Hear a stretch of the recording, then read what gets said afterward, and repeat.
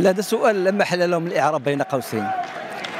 لأن ما يقوم به المحمل الآن جاء نتيجة ما نقولش فشل الحوار وإنما عدم الوصول إلى حلول تراعي المبادئ الدستورية وتراعي حق المواطنين في الولوج المستند للعدالة وتراعي مبادئ العدالة في توزيع التكاليف ديال الدولة والعدالة الضريبية.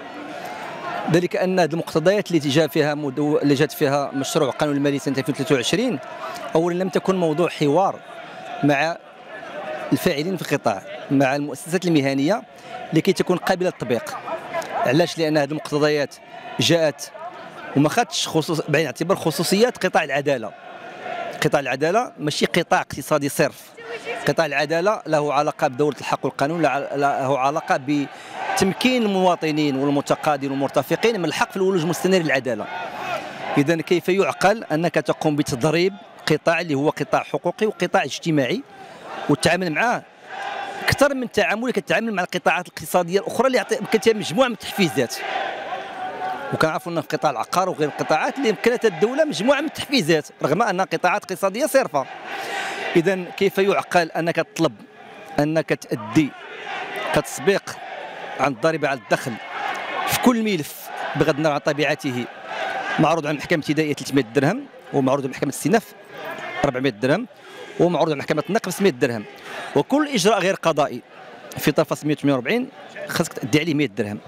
بمعنى أنه ملفات اللي عندها علاقة بالطبيعة الاجتماعية وكنعرفوا إلا حللنا احصائيا الملفات المعروضة على المحاكم. كنلقاو بأن واحد 70% من هذه الملفات هي ملفات اجتماعيه ومرتبطة بالفئات الهشه بالدرجه الأولى. اذا كيفاش غيمكن أنك تفرض هذه المبالغ وكتقول مثلا هذا المعتقد المواطن إلا بغيتي تمشي عند المحامي راه خاصك تعطيه على الأقل واحد 3000 درهم. لأنه هو ملزم ضريبيا أنه يؤدي واحد المبلغ كتسبيق على كل ملف. اذا معنى هذا أنك حرمتي من هذه الفئات الهشة من الاستعانة بالمحامين. لأنه ما يمكنش يؤدي هذه المبالغ وحنا كنعرفوا الوضعية ديالهم. كيفاش غنطلب مثلا من عامل مطرود انه يؤدي تسبيق المحامي في 3000 درهم باش يمكن يؤدي عليه حتى هو تسبيق ديال 300 درهم وتسبيق ديال 400 درهم في الاستئناف وغيرها من اذا هذه. راه كتضرب في العمق. الحق في الولوج المستنير بالنسبة للمرتفق اذا المتضرر الحقيقي. راه هو المواطن هو المرتفق من من سحب من من الفئه الهشة أو من ذوي الفئه الهشة. أنتم يعني نقطة أخرى نقطة أخرى عندها علاقة بالعدالة الضريبية. اذا إلى رجعنا المقتضيات الدستورية. ولا رجعنا للمدونه المدونة العامة للضرائب. كان ناخذ فيما يخص لياغ بالنسبة للضريبة على الدخل أنها تفرض على المداخل الصافية. يعني بعد خصم المصاريف. في حين أن هذه المقتضيات تفرض على مداخل احتمالية. بمعنى باقي ما كايناش أصلا. اذا هذا راه كضرب في العمق العداله الضريبية. هذا كيخلينا أنه المحامون يحتجون على هذا لا عداله ضريبيه وحرمان المواطنين من حقهم في الولوج المستنير للعدالة. أما على مستوى أداء الضرائب فالأكيد أن المحامين شانه شان المواطنين هم ملزمون ب المساواة أو أداء التكاليف العمومية في إطار مبدأ المساواة. إذا لو أن الحكومة أو القطاعات الحكومية المعنية فتحت حوار مع الفاعلين في القطاع والمؤسسات المهنية كان كان غتعرف طبيعة هذا القطاع ومن خلاله كيمكن نوضعوا قواعد لتراعي اولا التوازن المالي للدوله وتراعي كذلك توزيع العادل للتكاليف بالنسبة بالنسبة لجميع القطاعات زائد أنها تراعي خصوصيات المفروضة على مستوى قطاع العدل.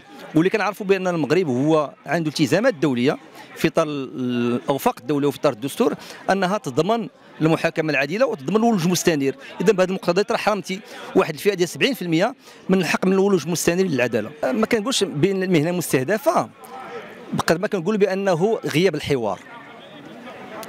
لأنه كنعرفوا بأنه إعداد الميزانيه كيتم على مراحل.